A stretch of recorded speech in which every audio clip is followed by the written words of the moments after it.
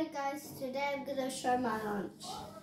This is mushroom, this is eggs, and this is um top, and fruits for dessert.